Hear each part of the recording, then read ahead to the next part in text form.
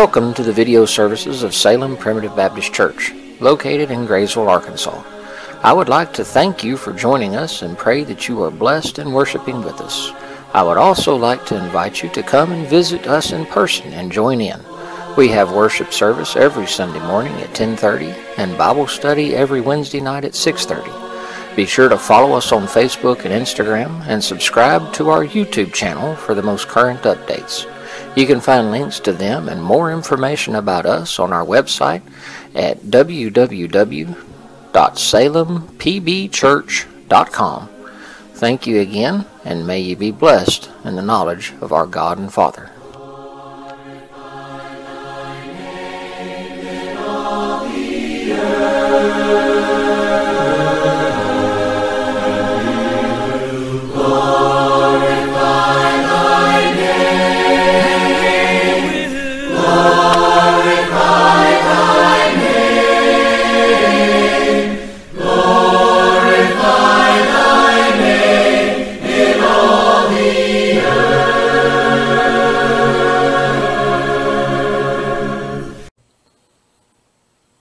You have your Bible with you this morning, I encourage you to open to the book of Ezra, chapter 3. The book of Ezra, chapter 3, is where I want to try to continue our thoughts this morning. Last week we uh, began looking at this section of Scripture trying to understand uh, the pathway to recovery. Last week we began looking at the, our current standing uh, and understanding and knowing that uh, last year was hard. There were issues that come about that we never thought we would see. Uh, we're still seeing things come about that I never thought I would see come across. I knew that the nation was struggling and there was all kinds of turmoil going on, but I and I worried about how January 6th was going to go. But did I imagine seeing a man dressed as a buffalo standing in Congress? No. We're still seeing things that we never imagined we would see. I, I started off last week with reminding you that the truly there's a precursor to our path to recovery. And that is the fact that we are the people that are not supposed to stop. We are the people that are not supposed to cease. We've been looking at this section of Scripture in Ezra, which is using the people of Israel as an example during their Babylonian captivity and the time they're coming out of that captivity, that time of absolute turmoil where God said that it was uh, had not been ba- this bad prior to that time. It was truly a time of struggle and pain and suffering for you to be drawn out of your nation, for those to literally try to wipe you off the face of the earth, destroy the country you came from, remove all teaching and understanding, change your names, change your teachings, try to remove the history in the past scary almost how much sounds familiar. But God told them during that time, don't stop. Marry, build houses, have children, plant vineyards, and pray for the peace of the nation that you are in. No matter how contrary it may be, no matter how lost we may feel in it, an alien we may feel in it from time to time, God says, pray for the peace of the nation, for in its peace will you find peace. So truly that's the precursor to our recovery. If we are going to bring ourselves to the point of recovering from this, how many of us really want to see a recovery in the Lord's church? How many of us are ready and willing to recognize that we need recovery? We need it. God's people that are called by His name, that are willing to walk in His paths, that are willing to stand for His truths, that are willing to be the pillar and the ground of the truth, the assembly by the name of the church. Y'all notice I left PB off that? God's people need recovery. Yes.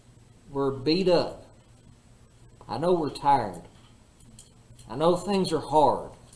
And I'm not telling you that's going to change. But the reality is, we can change in it.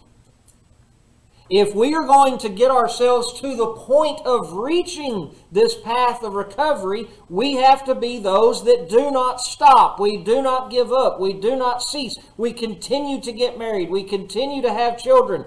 Literally, we continue to follow the paths of Scripture that started with marriage that started with have children, that started with raise your children, plant vineyards, plant gardens, build houses, continue the generations. That's where it started. That's where it's got to continue. And we've got to be those that continue in those paths if we have any hope of recovery. Amen. That's what God told Israel to do during their time of captivity. He will bless even in the struggles. Read the book of Job. No man suffered like Job. And God blessed him through it, carried him through it, and on the other side, he was better off than he was going into it. God is still with us. Amen. And I began looking here in Ezra. Read with me in the third chapter. This is now Israel is coming out of their captivity. They're making their way back into what's left of the nation. They're making their way back into a nation that's full of rubble and trash. This is not, they didn't walk back into a, a, metropolis that's built and ready to go. This is not as it was when Israel went into the promised land the first time and drove out the people of the land. And God said that there are houses that you didn't build, and cities that you didn't build, and gardens that you didn't plant, and vineyards that you didn't plant that you're going to be able to enjoy the blessings of. They're coming into it now. It's destroyed, it's rubble. Go look at Nehemiah. They had to first clean the trash out and clean up all the rubble and remove all the stuff that was in the way of building the wall. Get the picture. Understand what's going on here. And they're starting to come back into the nation, and that's where we're at here in the third chapter. Starting in verse 1. And when the seventh month was come, and the children of Israel were in the cities, the people gathered themselves together as one man to Jerusalem. And that's where we were last week. And I have no intentions of re-preaching that, but I want to remind us again as we go through this, the paths to recovery. Step one is the remembering of the importance of us to gather together. If the church, if the people of God have any hope of recovery, we've got to remember how important church is. We have got to remember how important, imperative, without replace, all the way to the point that Paul puts it in Hebrews, it is sinful to neglect the assembly of the house of God in Hebrews when he says to forsake not the assembly, that is not those that intermittently miss because of issues or problems. If you've got an ox in the ditch, Christ said it's okay to skip the Sabbath. If you're sick, stay home. We have a replacement. We have a substitute. But understand that this is a substitute for those who cannot be here. I'm thankful for our streaming services. I tweaked on it a lot this weekend trying to make it run smoother and work better. I'm thankful for that, but it is not a replacement for the assembly. When Paul says to forsake not the assembly, he's not talking about those that have something that come up and they miss a Sunday or two. He's talking about those that say it's not important. He's talking about those that say it's I don't have to. It, that's not part of Christianity. I don't have to go to church to be a Christian. That is so foreign from Scripture, it's not even funny. For a Christian to say that it's not important to go to church is compl- it is just as foreign to Scripture as I saved myself for heaven. It is just that foreign from Scripture. To forsake the assembly is to say, church is of no importance. I can serve God from my living room just as well as I can there. No, you cannot. Step one is for God's people to stop thinking this is optional. Step one is they came together as one man in the unity of seeking God. That was step one. This morning, though, I want to continue on looking at our next step. Continue on in the reading. Then stood up Jeshua, the son of Jozadak, and his brethren, the priest and Zerubbabel, the son of Shealtiel, and his brethren, and builded the altar of the God of Israel, to offer burnt offerings thereon, as it is written in the law of Moses, the man of God. And they set the altar upon his bases, for fear was upon them, because of the people those of those countries, and they offered burnt offerings thereon unto the Lord, even burnt offerings morning and evening. They kept also the feast of tabernacles as it is written, and offered the daily burnt offerings by number according to the custom as the duty of every man required. And afterward offered the continual burnt offering, both of the new moons and of all the set feasts of the Lord that were consecrated, and of every one that willingly offered a freewill offering unto the Lord. I want to stop there. The people of Israel came back into the land. They gathered themselves together. This all happens together, but I want us to see that this is our path to recovery. This is what it takes for us to move forward and to come back together as we should. Israel gathered themselves together as one man into Jerusalem. And when they gathered together in unity, and this is why you cannot serve God at home or in a deer stand or in a boat or on vacation or driving up and down the road the same as you can in church.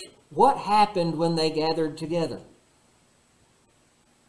When they gathered together, somebody stood up and went to the front of the room and began to teach.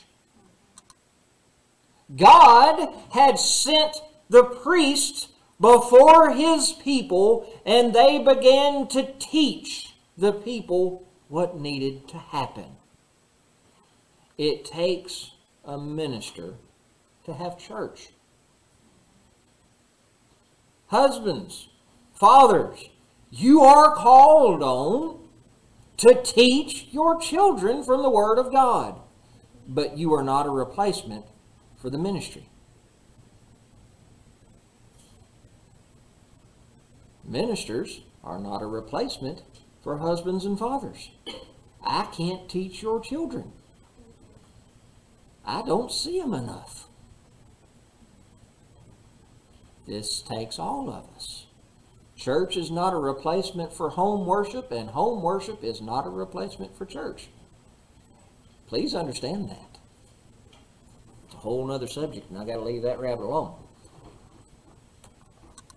The priest stood up before them. This is just kind of a, a little subtopic of the next step. But the fact of the matter is, if the church wants to recover, this puts a whole lot of fear and trembling in my knees, and I'm thankful for big pulpits that cover that up. The fact of the matter is, if God's church is going to recover, it's going to require God's ministers to stand up and teach the truth. Whether y'all like to hear it or not.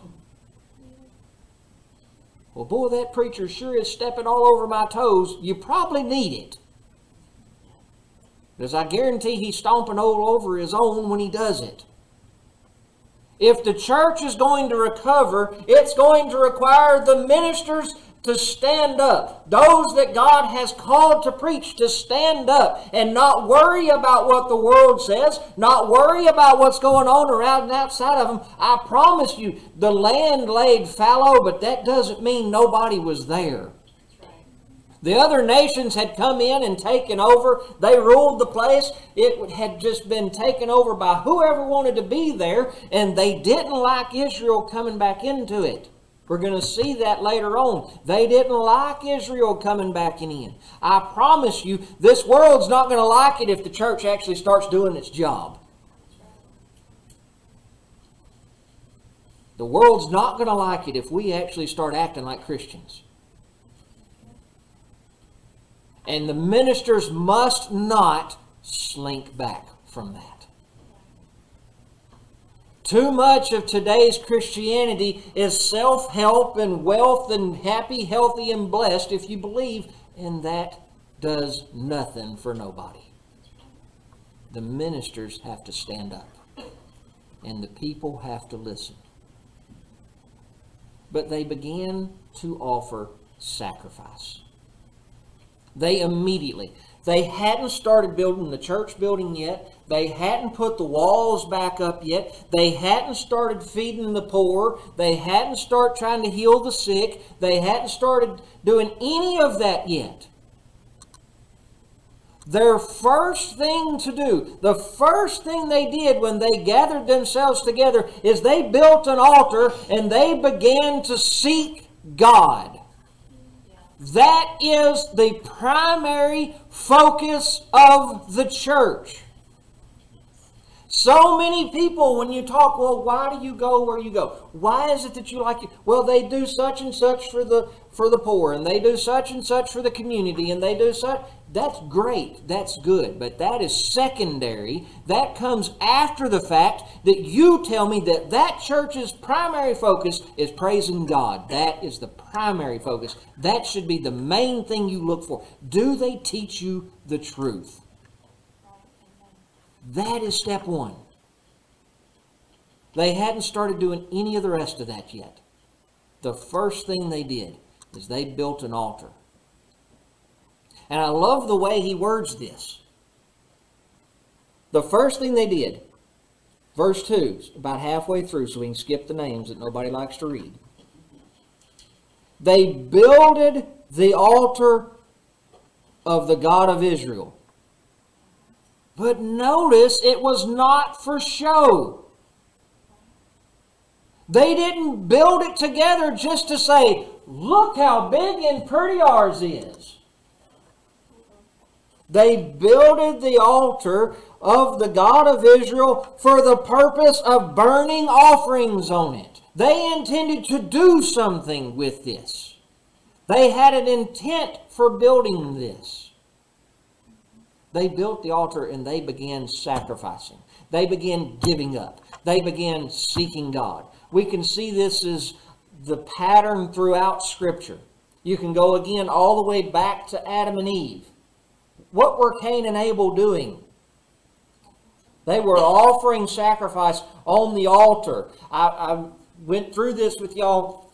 Hard to believe it's been well over two years ago now. But I went through all of this with y'all showing you that this is when these boys had become men and they were now going into their life and their mom and dad had done the job and had taught them the first thing you do is you start seeking God. And that's what they were doing. They had built their altars. They were going out to seek their own and to do their own, and they brought the first fruits important there. They brought the first fruits and they gave that sacrifice to God. That was the first thing they were to do for God to bless them in their life. That's what's going on there. And Abel's life was going good, and Cain's life didn't seem so great because God had respect unto one and not the other. Again, can't chase rabbits. But step one for them, they built an altar and they started sacrificing. Fast forward a few thousand years and you see Noah. It baffles me people trying to figure out why they can't find the ark. It baffles me people trying to figure out. Well, you would think something that big you'd be able to find it. You know what Noah did on day one when his feet hit dry ground? He took an axe to the ark. He started busting it up. Day one, if you go back and read in Genesis, and we're not going to read it just for the saving of time, but you'll find there in Genesis, when he came off the boat, the first thing he did was he built an altar before the Lord and he offered sacrifice unto God. They're, they've made it through the hard time. His family of eight gathered together, the only eight souls that lived through that hard time. It can be worse than what we're going through. The eight that had lived through it, they gathered together, and Noah, as the patriarch, as the prophet, as the priest at that time, sorry, gathered together, and he built an altar. And this is why there were seven of the clean and not the unclean. When we think about the ark and we look at the pictures, it's always Noah and the two by two animals all around. There were seven of the clean animals. Ever wondered why there was an odd number? Guess what happened to number seven when they got off the boat? He was sacrificed to God. First thing, he began to offer sacrifice, and God spoke to Noah and showed him the bow in the sky. The first thing he did was he began offering to God, and God answered that sacrifice. This is the pattern. You see it with Moses as they come out. You see over and over how he built altars all over the place. They named cities based on the altar that was there and the, the interaction they had with God. You see it with Israel here. They began building the altars and they began offering and they began keeping the law of Moses and they began keeping the law to the jot and to the tittle as best that they could. They started following and seeking God. And many of you are looking at me, well, that's great, brother. But what's that got to do with us? I know you're not going to tell me to go in my backyard and build an altar and go out there and kill Fido so we can put him on the altar, right? No. I'm not. But this is still the pattern today. Go with me to the book of Acts, chapter 2. We're trying to compare the two to try to see that this is still the pattern today. I want you to understand our sacrifice. Because no, I'm not telling you to go out there and bust the church up and so you've got wood to burn and pile up rocks and we need to put an altar out there in front of the church so we can start sacrificing bulls and oxen and turtle doves and all of those things. One, I, I don't want to do all of that. And two, it's not necessary. But this is still step two to offer sacrifice. We looked at this a little bit last week, seeing how they came together. In the first chapter, it, it, tells us that they were all gathered together, an assembly of 120, I always want to put this plug in there for all of us. It was an assembly, man and women, young and old. They weren't divided, they weren't segregated, weren't split off according to age groups so that they can learn better. They were assembled together, all in one accord, praying and seeking God, just as they were in Israel. And God begins to answer those prayers. And we look in chapter 2 in verse 14, and you're going to see what happens when everybody gathers together. But Peter, standing up with the eleven, lifted up his voice and said unto them, Ye men of Judea, and all ye that dwell at Jerusalem, be this known unto you, and hearken to my words. For these are not drunken as you suppose, seeing it is but the third hour of the day. And I'll read all of it. What happened? They're gathered together. They're assembled, they're assembled in unity, seeking God. And the preacher stands up the minister stands up before the people. All 12 of them come to the front, and Peter steps out in front of them and says, Time to listen. Sound familiar? The minister stood up. I'm not going to read the entirety of the, the sermon. It's a really good one. But we're going to fast forward on down to verse 33 of the same chapter uh, Peter proceeds to stand up before all of these uh, Jews from many different nations gathered together, uh, just as they were there in Israel. They were all gathered together, and Peter proceeds to preach a very good sermon on Jesus Christ. He begins back in Israel's old time and shows how they had gone through life and how God had worked with them, all for the purpose of bringing forth Jesus. Y'all know that was the primary focus of Israel? Was the bringing forth of Jesus. That was their purpose. And they had done that. And this was fresh on their minds. This is not far removed from the crucifixion. This is very shortly removed from Christ's ascension. And they are gathered together, and everybody is listening. And Peter gets all the way down here to verse 33. Therefore, being by the right hand of God exalted, and having received of the Father the promise of the Holy Ghost, he hath shed forth this which ye now see and hear. For David is not ascended into the heavens, but he saith to himself, The Lord said unto my Lord, Sit thou on my right hand, until I make thy foes thy footstool. Therefore, let all the house of Israel know assuredly that God hath made that same Jesus, whom ye crucified, both Lord and Christ. And when they heard this, they were pricked in their heart, and said unto Peter and to the rest of the apostles, Men and brethren, what shall we do? Brothers and sisters, there was a sacrifice that took place right there. It's the sacrifice that we have today. It's the sacrifice that we have to present now if we intend to recover. We don't put forth the blood of lambs and bullocks.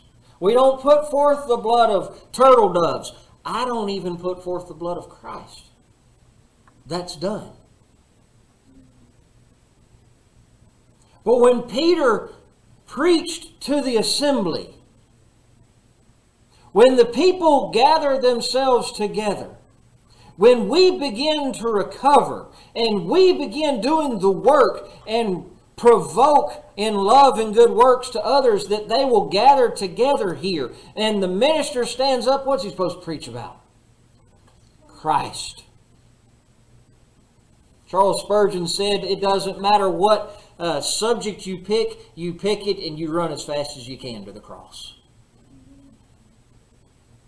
I'm not here to preach Spurgeon, but he's, I really enjoy reading his writings. Whatever the subject may be, I'm talking to you about recovery. I want you to know that recovery is based on Christ. Whatever the subject is, the minister runs as fast as he can to Jesus Christ and Him crucified because that is indeed our focus. And when the people gather themselves together and the minister stands before them and begins to preach these things, they were pricked in, in their heart. It had an effect, it broke their heart. This is the sacrifice that I'm talking about. We see this spoken about in Old Testament. I don't mean to make you just turn all over in your scripture, but it's good for you to know the places. Anyway, Isaiah chapter 1 talks about this sacrifice that we are supposed to be presenting as we try to recover. You don't have to turn there if you don't want to, just make notes if you'd like. But Isaiah chapter 1, starting in verse 10, says, Hear the words of the Lord, ye rulers of Sodom. Give ear unto the law of our God, ye people of Gomorrah. To what purpose is the multitude of your sacrifices unto me, saith the Lord? I am full of the burnt offerings of rams and the fat of fed beasts, and I delight not in the blood of bullocks, or of lambs, or of he goats. When ye come to appear before me, who hath required this at your hand to tread my courts? God said by this time, I'm tired of them. I'm not listening to them anymore. I've had all of that I can take. Bring no more vain oblations. Incense is an abomination unto me. The new moons and Sabbaths, the calling of assemblies, I cannot away with. It is iniquity, even the solemn meeting. Your new moons and your appointed feast, my soul hateth. They are a trouble unto me. I am weary to bear them. And when you spread forth your hands, I will hide mine eyes from you. Yea, when you make many prayers, I will not hear. Your hands are full of blood. What would he rather have? Wash you, make you clean.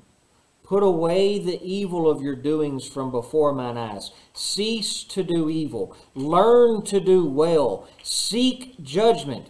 Relieve the oppressed. Judge the fatherless. Plead for the widow. Come now, and let us reason together, saith the Lord, through your sins. Though your sins be as scarlet, they shall be white as snow. Though they be red like crimson, they shall be as wool. If you be willing and obedient, ye shall eat the good of the land.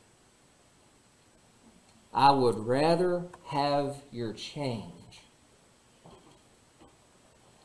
than have all of the bullocks and the blood of rams and lambs and he goats.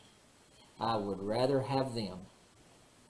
I would rather have you change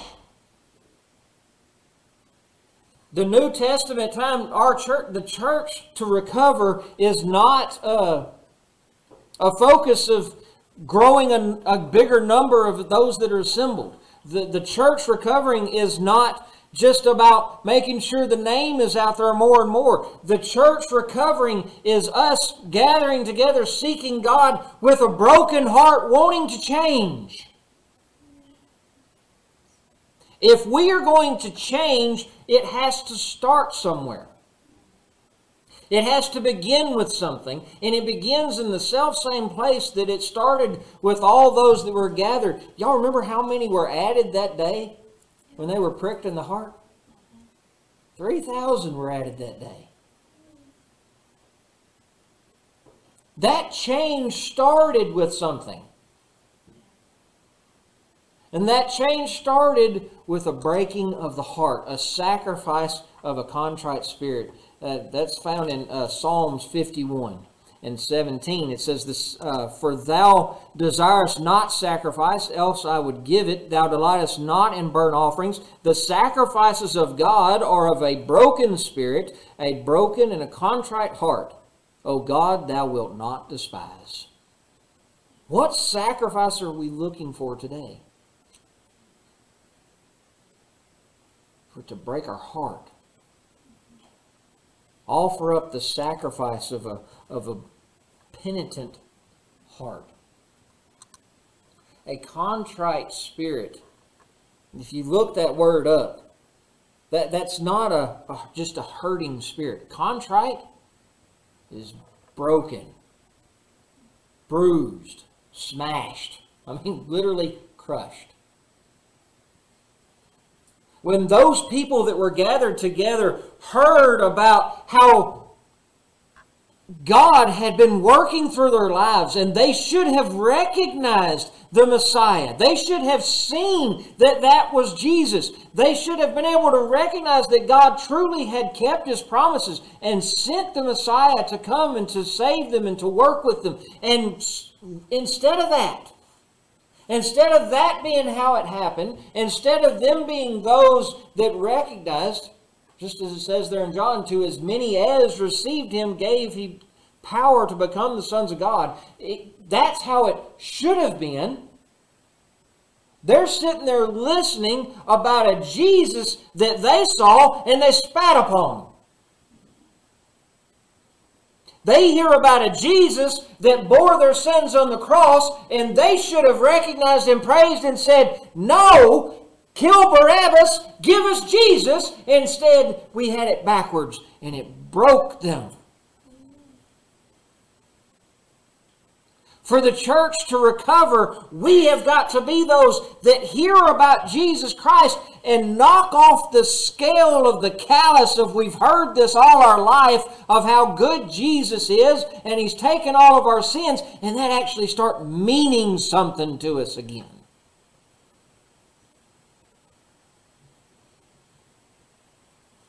Jesus was broken, beaten bloodied, and nailed to the cross because of me. and that start meaning something to us again. That it's not just, I've heard it before, give me something new. For it to prick us in the heart and drive us to change. The sacrifice that God is looking for is that of a broken heart and a contrite spirit, of one that recognizes how we've done wrong. When they were coming out of Israel and they were gathering together and they began offering the sacrifices, as that blood poured out on that altar and run down to the ground as they started setting it on fire, they should be able to see that this is what we deserve. We have brought this on ourselves, that burning and that blood that shed. That should be me. It was pointing towards Christ. And us on the New Testament looking back on it should be able to look back on what Jesus did and recognize that should be me. I should be the one that God turned his back on. I should be the one that experiences death and hell. I should be the one that pays for my sins. I'm the one that did them. I'm the one that committed them. God, I'm going to do better. I'm going to change. I'm going to try harder. I'm going to apply myself to your service. I'm going to try to be the Christian you've called me out to be. I'm going to try to live up to where I don't feel that so much. God, you've been so good to me. I want to be good for you. That's the sacrifice that we have got to present in order to recover. Paul writes about this in Romans chapter 12 of how this is a lifelong sacrifice. The sacrifice that we have got to get back to presenting. If we are going to recover, this is the starting point. The starting point is we begin to sacrifice to God and seeking His face. Romans chapter 12 says, I beseech you, therefore, brethren, by the mercies of God, that you present your bodies a living sacrifice, holy, acceptable unto God, which is your reasonable service. If you can remember there in Ezra, they began with those required sacrifices. They began with the new moons and all of those things. Then at the end, they said they gave of their increase. They gave even more. But they started with just what's reasonable. They started with just what was commanded. What is just reasonable for us to be sacrificing to God is our life, our every breath. That is just the, to put that into today's language, it's the least you can do. When, when you do something for somebody and they say, oh, thank you so much. Oh, it's just the least I could do. That's the equivalent here.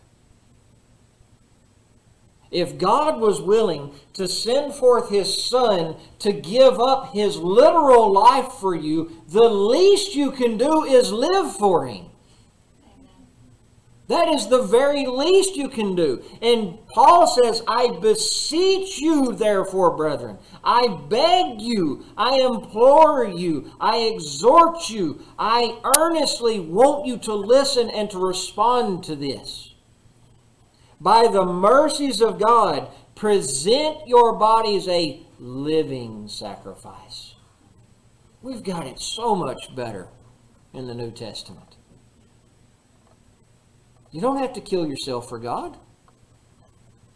He's not calling on you to die for Him. He's not calling you to, to have no life. He's calling on you to have a life you live for Him, to present your everything to Him. You see this in so many different places in Scripture. Uh, Jesus talked about it when He said, Seek ye first the kingdom of God. They gathered together, and the first thing they did was they sacrificed. When you get up in the morning, seek God. When you go to work, seek God. When you deal with your children that are driving you crazy and they're doing the same thing over and over and over again and you want to nail them to the wall, seek God. When you're dealing with your marriage, seek God. And please, when you gather together here, seek God, not yourself. That's why it is so important for us to gather together. Is for him to speak to us. I don't feel worthy of that still to this day. Remember asking a, a father in the ministry the night before I had hands laid on me, when did you stop doubting? He said, I never have. But the day I quit questioning is when men I loved were willing to lay their hands on me and say they see something. He said, I don't question anymore, but I still doubt it. I don't feel worthy of that place. But we gather together to seek God and to be as those that were listening and be pricked in the heart. It's supposed to hurt sometimes. And we're supposed to use that, that pain and that sensation that you should be very thankful for. You know what it means that those brethren and sisters were pricked in the heart? They were children of God. We hear about a king later that was pricked to the heart, but he didn't have a change. Does that mean he wasn't a born again child of God? Not necessarily. I fear too much that, that we are, as children of God, just like I said, we've, we've sat under the sound of the gospel so long that we've become callous to it, that hearing about Jesus being crucified only makes it to our heart and doesn't prick us all the way in anymore.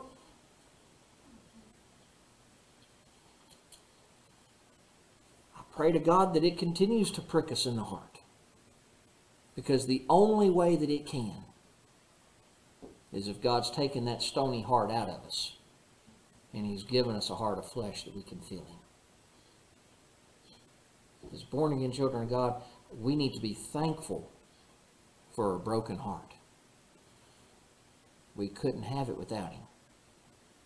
That sounds self defeating and that sounds like we're a glutton for punishment almost, but I tell you, we need to be thankful for the pain. We need to be thankful to be able to feel the pain of Jesus being crucified. The next step for us, if we're going to continue this road to recovery, is to be willing to be under the sound of the gospel. And we need to seek God. We need to be like those that were there in Israel, and we seek Him daily. We seek Him morning and night, and we seek Him first. And we see to it that we do all of it. They not only did they add the sacrifices, they added the solemn feasts, the new moons. They began following the commandments of God again. What did Jesus say about disciples? If ye follow my commandments, then are you my disciples indeed. God says be a member of the church. God says get baptized. That's not an offering. God says that we're supposed to do this in remembrance of me. We need to be taking part communion service. We need to be learning His Word, and we need to be following His Word. We need to start with that which is the least, and that's our life and get around to those like Israel were free and willing to give the more. this is all about us Christians growing up. Step one is to start seeking Him and grow up and give Him of the increase of your heart, of your mind, of your body, of your all. Only in this will we continue to recover. Thank you, and God bless. I will sing the wondrous story of the cross. Thank you again for joining us at Salem Primitive Baptist Church. I pray that the Word of God may brightly shine in your lives. If you would like to contact us or would like to download a copy of today's message, please go to www.salempbchurch.com.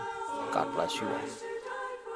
Who died for me? Sing it with, Sing it with the saints in glory, the saints in glory, gathered by gathered by the crystal sea. The crystal sea.